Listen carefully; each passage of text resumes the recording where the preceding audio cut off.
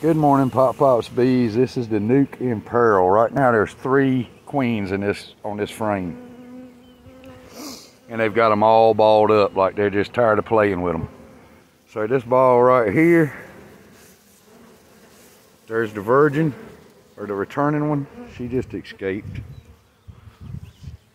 This ball here, ooh, getting upset. There's a marked queen. Right there. There's the other marked queen. Uh, yeah, they're getting a little upset I'm interfering. Balling her up.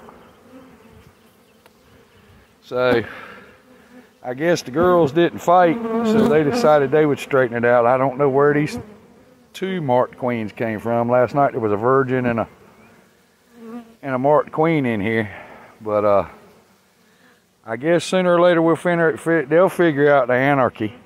But uh, didn't know if anybody else had ever seen three queens in the same nuc going to town, and boy, they got her uh, got her balled up.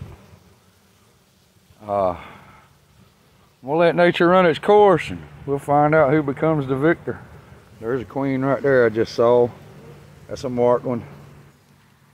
I'm gonna have to quit coming in the bee yard shorts. I got bees up my shorts again. I guess that's what happens when you're stupid. You got if you're gonna be stupid, you got to be tough, and I'm out here trying to do that again. I guess.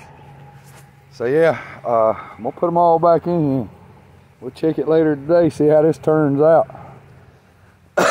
Don't have a clue where they come from, so it's not like I can put them back. But uh, bunch of bees, bunch of stuff going on at this nuc.